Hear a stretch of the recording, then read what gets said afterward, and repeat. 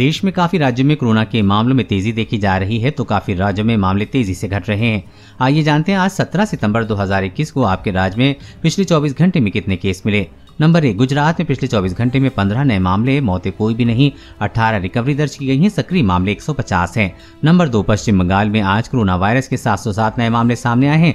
725 लोग ठीक हुए हैं और सात मौतें दर्ज की गई हैं। सक्रिय मामलों की कुल संख्या आठ हज़ार पच्चीस है। नंबर तीन, पंजाब में पिछले 24 घंटे में 41 नए कोविड 19 मामले 35 रिकवरी और सात मौतें दर्ज की गई हैं। सक्रिय मामले 325 हैं। नंबर चार, हरियाणा में आज नौ नए कोरोना के मामले, सत्रह रिकवरी और कोई भी मौत दर्ज नहीं की गई है। सक्रिय मामले तीन सौ सत्ताईस है। नंबर पाँच, तेलंगाना में पिछले 24 घंटे में कोरोना वायरस के दो सौ उनसठ नए मामले सामने आए हैं। तीन सौ एक रिकवरी हुई है और एक लोगों की कोरोना से मौत हुई है। सक्रिय मामले पाँच हज़ार दो सौ बयासी है।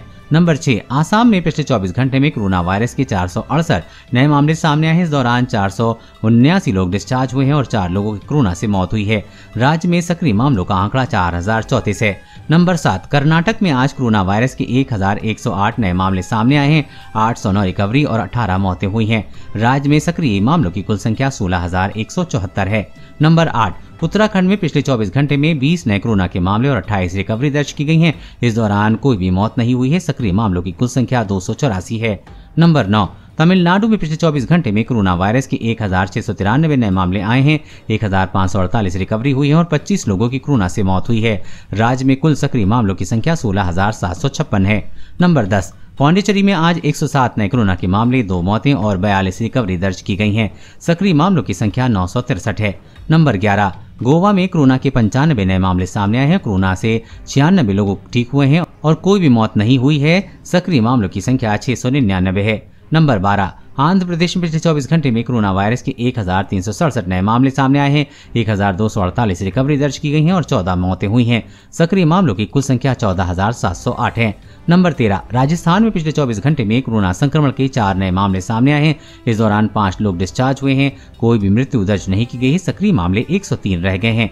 नंबर चौदह केरल में पिछले 24 घंटे में कोरोना वायरस के बाईस नए मामले आए हैं, छब्बीस रिकवरी हुई है और एक सौ अठहत्तर लोगों की कोरोना से मौत हुई है। सक्रिय मामले एक लाख छियासी हज़ार एक सौ नब्बे रह गए हैं। नंबर पंद्रह, मध्य प्रदेश में पिछले 24 घंटे में सात नए कोरोना संक्रमण के मामले, कोई भी मौतें नहीं, नौ ठीक हुए हैं, सक्रिय मामले 124 हैं। नंबर 16 झारखंड में कोरोना संक्रमण के 10 नए कोरोना के मामले सामने आए हैं। 11 लोग कोरोना से ठीक हुए हैं और कोरोना से कोई भी मृत्यु दर्ज नहीं की गई है। सक्रिय मामले 110 हैं। नंबर 17 हिमाचल प्रदेश में पिछले 24 घंटे में कोरोना वायरस के एक सौ सत्ताईस नए मामले सामने आए हैं। 206 रिकवरी हुई है और तीन लोगों की कोरोना से मौत हुई है। राज्य में सक्रिय मामलों की कुल संख्या एक हज़ार पाँच सौ अड़सठ है। नंबर अठारह, मणिपुर में पिछले 24 घंटे में कोरोना के 216 नए मामले सामने आए हैं। इस दौरान 219 लोग डिस्चार्ज हुए हैं, चार लोगों की मृत्यु दर्ज की गई है। सक्रिय मामले 2614 हैं। नंबर 19 बिहार में पिछले 24 घंटे में 12 नए कोरोना संक्रमण के मामले सामने आए हैं।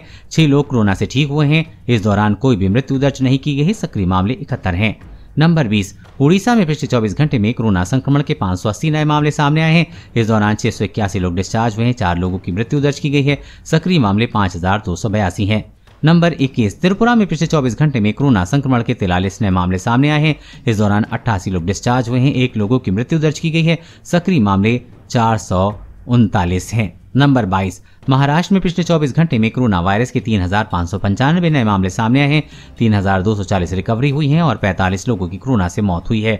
सक्रिय मामले उनचास हज़ार तीन सौ बयालीस है। नंबर तेईस। उत्तर प्रदेश में पिछले 24 घंटों में कोरोना वायरस के 24 नए मामले सामने आए हैं। ग्यारह लोग कोरोना से ठीक हुए हैं और एक भी मौत नहीं हुई है। सक्रिय मामलों की संख्या एक सौ तिरानबे है। नंबर 24 राजधानी दिल्ली में पिछले 24 घंटों में कोरोना वायरस के 28 नए मामले सामने आए हैं।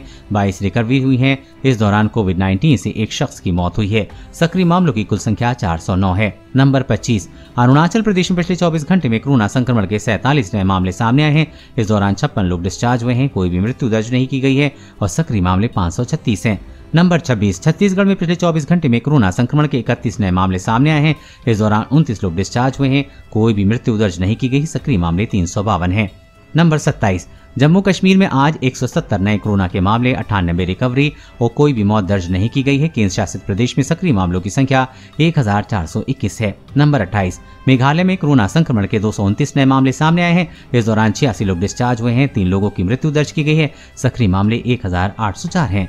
नंबर 29 मिजोरम में कोरोना संक्रमण के 1402 नए मामले सामने आए हैं। इस दौरान 925 लोग डिस्चार्ज हुए हैं। तीन लोगों की मृत्यु दर्ज की गई है। सक्रिय मामले तेरह हज़ार हैं।